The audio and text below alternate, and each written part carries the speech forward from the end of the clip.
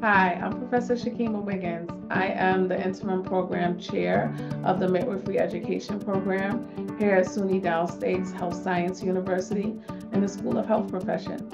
Here at SUNY Downstate, we are excited to be able to offer our graduate level programming where students have the opportunity to earn their master's degree in midwifery or their advanced certificate.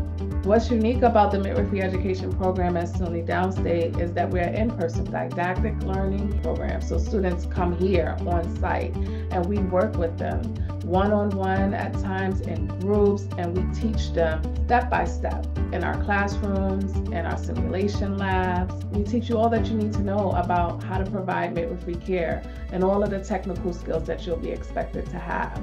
Students are also afforded the opportunity to go out into the community to do clinical practicum or clinical rotations where they learn from other midwives that are working in hospital settings, clinic settings, private practices.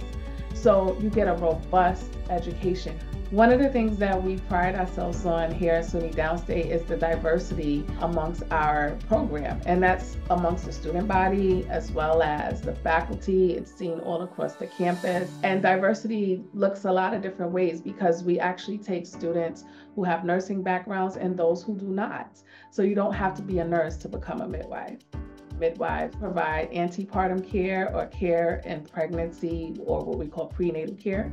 We also provide gynecologic, reproductive, and sexual health care. We also provide postpartum care, both immediately after having given birth and long term. We provide neonatal care to newborns up until one month of life.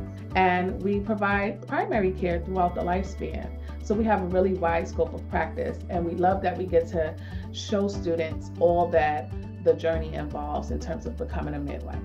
Our students are thoroughly prepared to sit for the state licensure exam, and we're excited that we continue to have pass rates that exceed the national average year after year.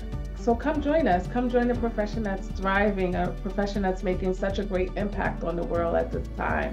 It's an exciting place to be, and it's an exciting role to be in.